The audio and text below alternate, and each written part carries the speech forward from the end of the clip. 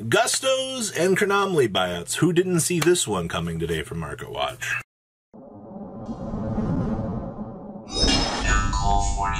Make sure you guys smash your living crib that subscribe button so you guys don't miss out more market watches. So, Dawn of Majesty reveals yesterday morning kind of sent the market in a tipsy topsy little spiral. And uh, as you would see, yeah, Gusto cards ended up getting bought out. Nebra ended up getting bought out. So, it's uh, time to see the, the collateral damage here. Actually, Qualms actually still on the market here at 12 bucks, which are actually kind of interesting. Griffins, uh, well, these also got destroyed along the way. Remember seeing that these were pretty cheap yesterday. We're at 13 bucks. It's not horrible. Um, the DT buyouts actually for the Gusto stuff didn't hit too close to home. Uh, Pilicas did hit close to home though. These were, I think, $7 yesterday morning before the announcement send them spiraling down. I'm expecting a reprint of this somewhere along the way. Winda Priestess of the Gusto, whoo. They're holding line here at 15, then we jump up to 50. Regular Qualms, um, about 7 bucks right now. DT copies of Gusto Gulldo, yeah, those actually shot up really hard, actually. Uh, there's no copies of Gusto Eagle on the market at all for uh, DTs. Uh, interesting enough, like, like I said, like, we did not hit these too hard for regular copies. Alright, um, Contact with Gustos, still pretty cheap. But as you can see, the more impactful versions of the cards definitely got destroyed in value. Value things like Kamui, Reeze didn't have any sort of touching on that side of the market. So, and of course the Daigusto side here, Emerald, I forgot this card existed. Uh, Freeze here, these didn't go up too crazy actually. These are $12 with pushing up to 14. Daigusto Phoenixes, eh, 7 bucks. Regular copies, uh, or excuse me, DT Gulldos here, 420 plus shipping. Uh, Eagles at the $3 mark. And well, regular freezes actually didn't get touched. I'm actually probably expecting more movement from these later on in their life. But when I'm seeing like dollar, two dollar copies here, still for these, uh, very interesting. So these didn't go as crazy as I actually thought they were going to. So considering it's uh, Hidden Arsenal six, but uh, huh, I guess not. Ah, Chronomaly cards. So besides number 33, always just kind of being up in price because, you know, there's infinite OTKs because of Machu Meku. Nebra Disk actually ended up rattling the cage. These were a dollar yesterday morning. Uh, it's what, like a 600, 500% increase essentially overnight. So six bucks, seven bucks right now on Nebra Disk. I, I assume that we'll get a reprint from this. It is from World Superstars, so it has to be up on the chopping block here. Predominantly Crystal Chrononaut, dollars. Uh, number C6 here. Eh, still pretty high listing numbers for these. City Babylon, still pretty cheap. I'm assuming everything else for this deck, besides Nebra Disk, is literally going to be the only thing that really got touched. Yeah. Literally looks like Nebra Disk was the biggest buyout target for this. Yep. I mean, Nebra Disk does everything that you want it to do for this particular deck, so that's something to keep in mind. Alright, so we did get the new Instant Fusion, aka the, the vanilla flavored ramen uh, came out, and there's been a lot of hype around a lot of the vanilla monsters. Now, granted, the new Instant Fusion says level 6 or lower, uh, which did open up a lot of doors. So basically, if it was a vanilla fusion monster, guess what happened? It uh, started to do some things. So Rose Spectre of Doom, this is probably one of my more favorites here. These are available at 12 bucks right now. This is going to be your uh, plant fusion monster. The Marine Beast here uh, level 5 for this. As you can see here, these are still pretty, pretty pricey. Skullbirds here coming in about the 10 to $11 mark. Uh, actually, just once the cheap one's gone, we're at $19 for this stupid thing. Hey, look, look, the power of vanilla fusion monsters at work. All right, Mystical Sand, another one here. This thing is, this thing for some reason is rock. I never really understood that. Uh, it's Ancient Elf plus uh, Giant Soldier Stone on a level 6 body. Once again, you meet that rock requirement, you're good to go. Alright, we also have Vermilion Sparrow.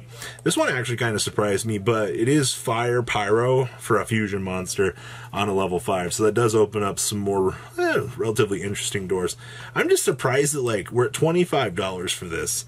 Oh boy, I see, I see Skelegong, Soul Hunter, and the Man-Eating Black Shark. Alright, so Skelegong, actually these aren't bad, 8 bucks. Alright, Soul Hunters coming in at the Well, once this mod play is gone, we're at $17. Jikes. Uh, main eating black shark. Uh, let's see. Thing is what? Sea Common Gruesome Ghoul plus Amazon of the Seas. Wow. Alright. I see we have an Italian copies up here. Hmm. For not 750 and we push on up to the $9 mark. Alright. Metal Dragon from LOB. You already know. If it's LOB, it's uh it's gonna be expensive. Just kind of how life works these days out here. Man, uh, 39 40 cents for these isn't bad. But how many pages do I have to go to get first eds here? Uh, light plays are $52 for a stupid rare. Near mints are 59 bucks. Huh, it's Power of the Legend of Blue Eyes White Dragon, the set. Who would have guessed? How much is uh, Charubin here going for for first ed copies? Alright, light plays for 13 bucks. That's amazingly not bad, all things considered. And then, of course, the classic one for the vanilla side of things here. Ah, Karbonala Warrior. I love how this only has three pages. Cool, no first editions exist for Karbonala Warrior on the market. Also, who would have guessed that? Hmm. Ah, Sea Monster of worth a lot of money. So, for whatever reason, these have started to kind of settle back down. I'm actually kind of impressed with how fast these actually spun back down in price. Uh, granted, Raging Tempest copies are nine bucks, but you can pick up a Mega Pack one for a five dollar in some change shipping. So this actually isn't too terrible if you wanted to get ahead of the game and have one. Um, just for the interaction of it being a tuner. There is another tuner coming. It's going to be level two, but cool thing with this one is it's Ultimaya Tzolk'in fodder. Also, for whatever reason today, uh, the rich people came out and said, I want to buy all the Apollouses on the market. So for whatever reason, all the Starlight Apollouses in the entire TCG marketplace uh, just decided to walk up and leave. These were at $800, all right?